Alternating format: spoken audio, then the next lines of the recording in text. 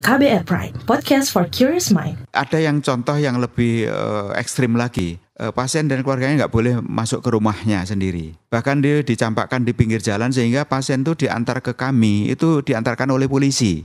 Begitu datang langsung ditinggal.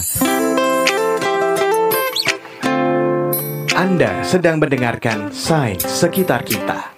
Dipersembahkan oleh The Conversation Indonesia dan KBR.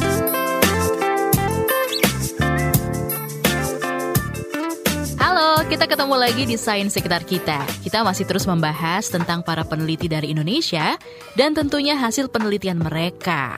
Dan seperti biasa, saya masih ditemenin sama Lutfi Zulfikar dari TCID. Halo Lutfi, how are you? Halo Naomi, uh, I'm good. Uh, kamu sendiri gimana kabarnya?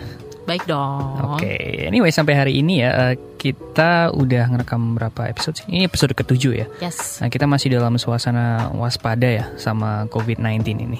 Yes, itu betul banget. Karena aku pun ke mana-mana masih dipersenjatai dalam tanda kutip ya, seperti masker, terus juga seperangkat alat pengaman diri leh. Pokoknya itu sesuai sama protokol kesehatan. Iya bagus lah.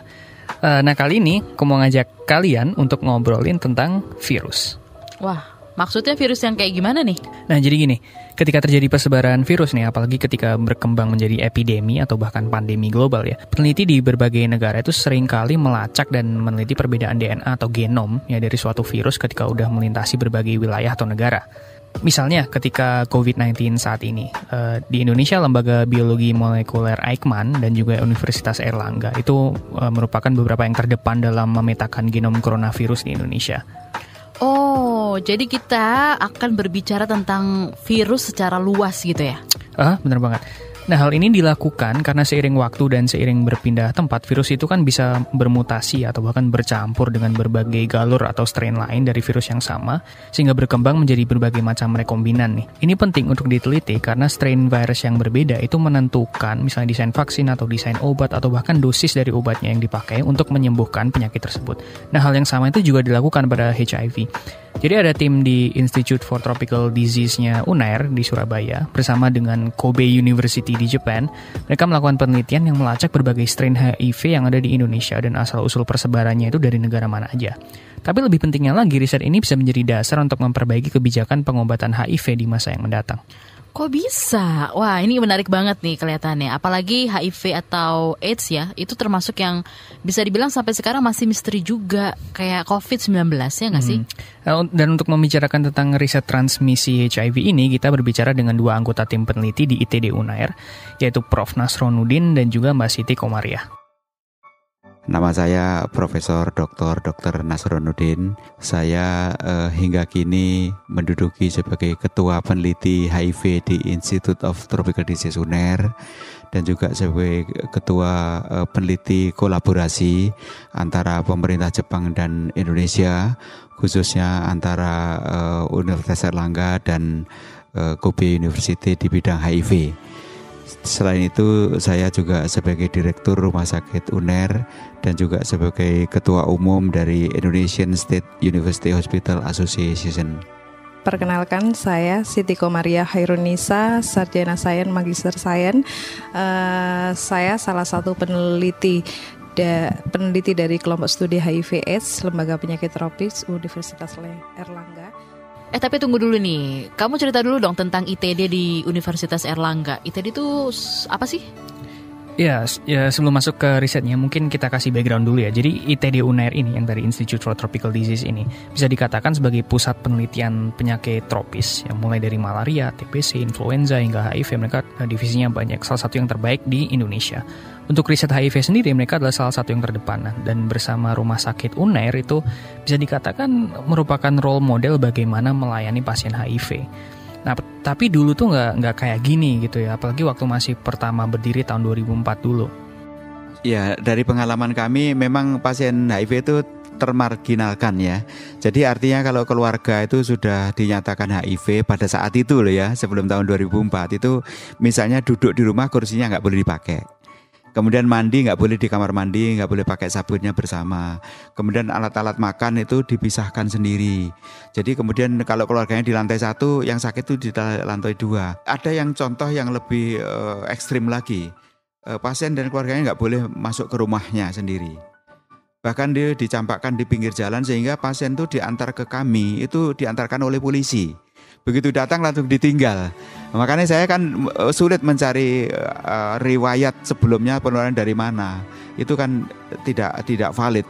Oh, jadi ini bisa dibilang baru dong ya, baru berdirinya aja di tahun 2004 kan. Eh, berarti sekarang udah 16 tahun yang lalu, terus 16 tahun yang lalu tuh apa aja yang sudah terjadi? Tapi jangan salah loh, 16 tahun itu perjalanan yang panjang juga ya. Mm-hmm. Nah, seiring dengan sosialisasi dari ITD dan Rumah Sakit UNAIR kepada masyarakat dan juga banyaknya penelitian HIV yang dilakukan, hingga kebijakan-kebijakan inklusif yang dilakukan Prof. Nasron, misalnya kayak merangkul pasien HIV di depan keluarganya, mengundang Miss Universe yang waktu itu uh, Jennifer Hawkins dari Australia kalau nggak salah ya, eh, mengundang dia untuk mengunjungi ruang perawatan HIV dan seterusnya. Akhirnya masyarakat tuh mulai terbuka dan juga akhirnya lebih banyak pasien yang bisa terlibat dalam riset HIV gitu. Nah, fast forward sekitar 16 tahun kemudian, uh, ITD UNAIR uh, kini sebagai uh, salah satu lembaga penelitian terdepan untuk HIV di Indonesia dihubungi oleh Kobe University untuk suatu suatu kesempatan riset. Nampaknya ternyata berdasarkan beberapa penelitian yang sudah dilakukan sebelumnya, ada anomali pada karakter gen HIV yang ada di Indonesia nih. Lutfi, aku pernah dengar ya, tapi please correct me if I'm wrong ya. Ada yang pernah bilang kalau tipe HIV di setiap dunia itu katanya beda-beda. Itu benar gak sih? Iya, benar banget. Jadi gini, kalau HIV di dunia itu kan tipenya macam-macam ya berdasarkan prevalensi di eh, benua atau wilayah tertentu. Misalnya eh, di dunia ini tuh ada dibagi kalau misalnya pohonnya HIV ya itu dibagi dua HIV 1 sama HIV 2. HIV 1 tuh 95 lebih persen kasus di uh, dunia ini. Karena uh, itu yang yang mudah transmisi dari orang ke orang. Karena HIV 2 itu sekitar 5 persen terkonfine di daerah West Afrika dan itu lebih susah untuk persen to persen. Nah, yang tadi 95 persen tadi yang tipe HIV 1 itu dibagi lagi ke dalam beberapa uh, tipe. Misalnya tipe M, N, O, M itu major, N itu new, O itu outlier, seterusnya kayak gitu. Nah, paling banyak itu tipe M. M itu pun dibagi lagi menjadi 16 uh, eh, subtipe. Jadi ada A, B, C. Kalau misalnya A itu yang uh, paling banyak di Afrika Timur, B itu yang paling sering muncul di Eropa, Amerika, Australia, C itu yang uh, sering di Afrika Selatan, India, uh, habis itu Nepal. Sementara E itu adalah yang paling banyak di uh, Asia Tenggara. Sementara beberapa subtipe ini pun bisa bercampur lagi. Misal di Indonesia itu yang paling banyak ada itu namanya uh, HIV uh, 1 tipe AE. Nah, jadi yang yang yang galur subtipe A dari Afrika sama E yang ada di Southeast Asia ini uh, gabung dan akhirnya uh, bermutasi jadi rekombinan ini yang yang paling banyak di Indonesia. Jadi yang paling banyak di Indonesia itu HIV subtipe AE. Nah tapi ternyata ada penelitian lain yang menemukan bahwa di Indonesia Timur itu ternyata ditemukan juga subtipe B. Kalau di luar negeri itu kalau dari analisis epidemiologi genetiko molekuler itu umumnya kalau dari dari Amerika, negara-negara Eropa sama Australia itu kan termasuk HIV 1 eh, termasuk subtype B. Sedangkan kalau Indonesia pada umumnya dan juga Afrika pada umumnya itu termasuk HIV 1 tapi non B. Nah, di Indonesia itu termasuk yang CRF 01 uh, AE ya Mbak eh, ya sebagian itu. Nah, ini menjadi sangat menarik kok aneh gitu. Indonesia dan Afrika itu mayoritas kan harusnya non B dan CRF uh, 01 EI. Tapi kok ada ini yang tipe B. Nah, kemudian atas dasar itu maka kami uh, kami tim ITD dengan tim Kobe kalau di ITD saya yang mimpin di ITD itu Prof Kamioka sepakat untuk menelusuri ini dari mana ini penularan yang di Papua ini. Ini untuk me, me, me, supaya kita mendapatkan info dan data yang valid. Jadi penularan itu sebenarnya dari Indonesia atau dari luar negeri gitu. Karena itu beda, beda banget itu. Nah, dari penjelasan tadi pertanyaan aku adalah manfaat dari ini semua itu apa ya? Kan sebenarnya udah jelas ya pengobatan HIV AIDS itu harusnya pakai obat antiretroviral ARV.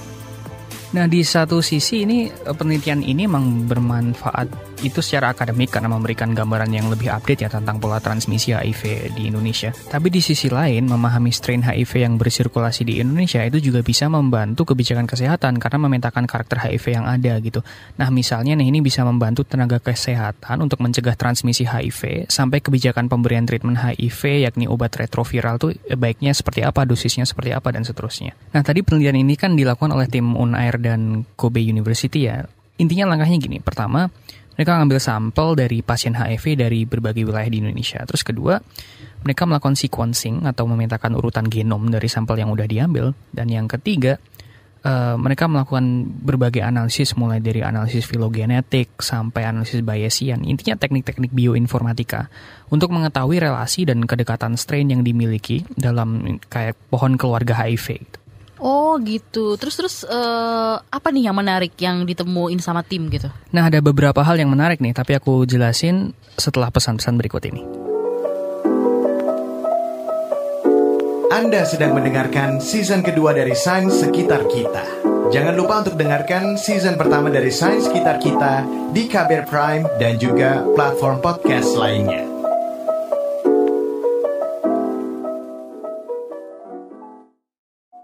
Masih di Sains Sekitar Kita, kita lagi ngebahas tentang virus HIV bersama Profesor Nasruddin dan Mbak Riah dari Universitas Erlangga dan pastinya masih juga ada Lutfi. Hmm, halo. Uh, jadi kita lanjutin lagi ya yang tadi ya. Tadi kan uh, kamu nanya tentang hal-hal menarik yang ditemukan sama timnya Prof Nasron kan ya? Iya, apa nih? Bikin penasaran aja. Nah, yang pertama nih, adalah terkait bagaimana HIV masuk ke Indonesia dan strain apa aja sih yang bersirkulasi di sini. Nah sebelum ini kan e, karena peneliti percaya bahwa subtipe yang dominan di Indonesia itu kan adalah AE ya. Maka harusnya rute penyebarannya adalah dari Afrika. Nah, eh, tempat pertama muncul HIV itu dipercaya adalah Kinshasa atau sekarang di Democratic Republic of Congo. Habis itu e, dibawa oleh migran Meksiko ke Haiti, habis itu ke Amerika, terus ke Afrika lagi, baru ke Indonesia nih. Nah, tapi karena penelitian ini mengkonfirmasi bahwa ternyata ada subtipe lain, yaitu subtipe B di Papua, padahal B itu harusnya dominan di Eropa atau Australia, jalur masuknya ke Indonesia kemungkinannya menjadi lebih banyak lagi nih. Begini Prof. Nasron menjelaskannya. Uh, akhirnya secara singkat itu di, didapat info, didapatkan suatu bukti bahwa HIV itu pertama memang dari Kinsasan Afrika, kemudian dibawa ke Haiti oleh penduduk Meksiko yang migran. Kemudian dari Haiti itu uh, berpindah atau terbawa ke USA. Kemudian dari Amerika itu bisa direct ke Papua, ke Indonesia ke Papua itu bisa indirect melalui beberapa negara di Eropa, dari beberapa negara Eropa baru ke Indonesia ke Papua itu atau uh, dari uh, USA tadi ke Asia. Ke Asia itu berputar antara Cina dengan Thailand atau Thailand dengan Cina itu terjadi putaran begitu. Kemudian dari situ um, uh, tertransmisikan ke negara-negara tetangga termasuk ke Malaysia, ke uh, kepada uh, Vietnam dan juga Singapura dan juga di Indonesia. Jadi uh, ternyata uh, tidak ada kaitan antara Australia dengan Papua padahal kan dari segi geografis kan dekat itu. Ternyata itu tidak. Jadi itu yang kemudian kami lakukan. Nah, kalau temuan di atas sendiri mungkin kontribusi besarnya lebih ke mengembangkan wawasan para ilmuwan ya tentang persebaran HIV di Indonesia. Tapi ada temuan lain dari tim yang punya dampak besar terhadap kebijakan kesehatan. Wow, apa tuh?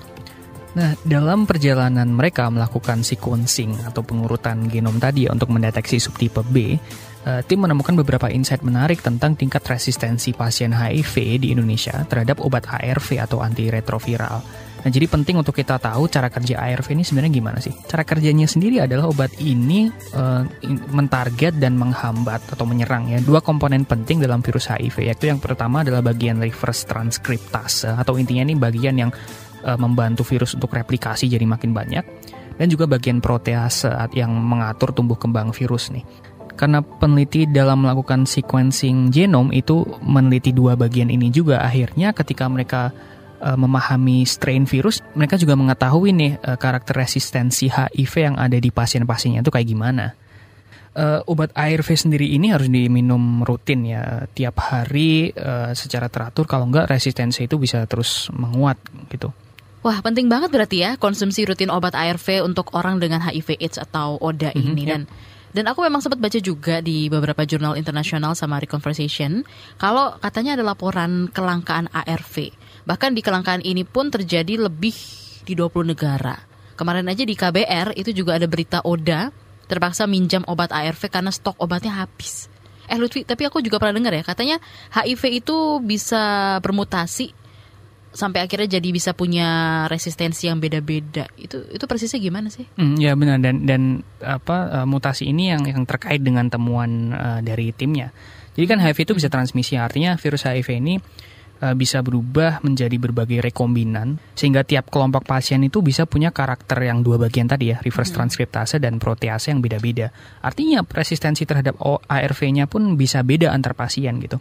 Nah dalam proses pemetaan genom yang menentukan strain HIV tadi yang udah dijelasin tadi tim itu kebetulan meneliti dua bagian ini gitu Nah, dalam proses pemetaan genom ya atau sequencing tadi yang untuk menentukan strain HIV tipe B tadi yang udah dijelasin, tim peneliti kebetulan mengamati dua bagian ini. Kita ingin tahu uh, tingkat resistensi yang ada di Indonesia seperti apa. Jadi kita cek juga selain subtipe di daerah protease dan reverse transcript, kita juga cek resistensinya seperti apa. Nah, berarti kan ketahuan tuh jenis strain HIV di Indonesia ada apa aja gitu. Dari situ bisa dipelajari dan ketahuan juga karakter resistensi tiap pasien. Nah, ini memudahkan pembuat kebijakan dalam menentukan pemberian obat ARV yang tepat bagi setiap pasien yang ditangani itu seperti apa. Oke, nah itu tadi kan dua temuan utama dari riset ini. Selain mengupdate wawasan akademik terkait gimana transmisi HIV masuk Indonesia, selain yang udah dijelaskan tadi juga, ada nggak sih penemuan lain yang terungkap di penelitian ini? Nah, pertanyaan bagus tuh Naomi. Uh, kalau Maria menjelaskannya gini. Uh, selama ini untuk uh, pemberian uh, terapi antiretroviral uh, dari klinisi ke pasien, uh, klinisi hanya mengacu pada uh, standar dari WHO ya dari gejala klinis dan dari sisi labnya. Dari sisi lab hanya pengukuran viral load dan CD4. Sedangkan uh, kalau menurut kami untuk uh, mengetahui efektivitas dari suatu ARV itu adalah uh, si ARV itu sudah resisten atau belum. Makanya kita cek uh, resistensi ARV pada pasien yang sudah maupun yang belum. Yang belum kenapa kita cek juga karena e, ditakutkan pasien itu sudah tertular oleh virus yang memang sudah resisten terhadap obat yang mau dikonsumsi. Nah, yang tadi dijelasin sama Mbak Ria itu tadi nyebut viral load itu kan e, itu ngukur e, seberapa banyak sih partikel HIV e, di dalam 1 ml atau cc darah. Kalau misalnya 100 ribu itu udah masuk ke stadium 4 HIV-nya. Yang kedua adalah CD4 tadi disebut adalah uh, seberapa banyak CD4 atau ini semacam uh, apa ya tipe sel darah putih uh, itu ada di dalam tubuh gitu. Kalau orang yang sehat itu sekitar 500 sampai 1600 per kubik milimeter di dalam darah. Nah, dari penelitian ini bagus dong. Apalagi ini bisa pengaruh juga sama kebijakan gitu ya. Terus apa yang disarankan sama tim ITD ini untuk pemerintah? Nah, mereka menyarankan untuk menambah satu standar tambahan nih yang digunakan dalam proses ngecek virus HIV di pasien nih ketika mau ngasih obat ARV ke mereka. Selain yang selama ini udah digunakan yang tadi itu ya viral load dan tingkat CD4. Dari situ mungkin uh, ada metode baru selain uji viral load CD4, ada uji resistensi yang bisa diterapkan di Indonesia sebelum uh, dokter memberikan ARV kepada pasien. Ini untuk pemegang kebijakan sangat penting sekali sehingga dokter sebaiknya punya dokumen tentang status resistensinya. Kalau resisten ya jangan diberikan obat itu gitu loh. Bisa dipilih yang lain hmm, di tingkat sederhana ini tuh kayak kalau kita ke dokter gitu ya terus ditanya kamu alergi obat apa? Gitu kali ya jadi sementara kan uh, kita bisa jadi. iya kan sementara kita juga rata-rata nggak tahu juga kita alergi sama apa gitu kan. Nah, jadi kalau resistensi terhadap obat ARV ketahuan, jadi orang yang dengan HIV AIDS atau ODA ya, itu bisa juga terus hidup dan berfungsi walaupun mereka mengidap HIV AIDS gitu ya. Iya, iya, benar. Dan kalau menurut aku sih ini penting banget karena ini juga bisa dibilang jadi kunci penanganan virus HIV ini, ya nggak sih? Hmm, dan nggak cuma penanganan aja ya, tapi yang paling penting juga bagaimana kita harus aware dan bisa antisipasi supaya nggak terinfeksi uh, eh, HIV yes, ya. Dan untuk teman-teman yang mendengarkan di rumah ya, HIV itu tidak menular lewat uh, air, air liur, keringat, bersentuhan, serangga, hewan atau berbagai makanan dan minuman ya, tapi menularnya itu lewat uh, perilaku seksual yang uh, beresiko yang tidak aman entah itu hubungan uh, homoseksual ataupun heteroseksual ya. Bisa juga lewat uh, pertukaran jarum suntik yang gak steril atau transfusi darah dan jangan menstigma orang dengan HIV AIDS lah ya. Iya benar banget. Anyway, uh, thanks Naomi dan pendengar tercinta. Uh, kritik atau saran bisa ke mana Naomi? Jadi guys, kalau ada saran, masukan, jangan ragu ya. Kirim lewat email ke podcast at kbrprime.id. Jangan lupa juga ikutin Science sekitar kita Bisa didengerin di KBR Prime, Spotify, Google Podcast, juga platform untuk dengerin podcast lainnya. Dengerin juga loh Sains Sekitar Kita Season 1. Saya Naomi. Dan saya Lutfi. Kita undur diri. Bye-bye. Bye.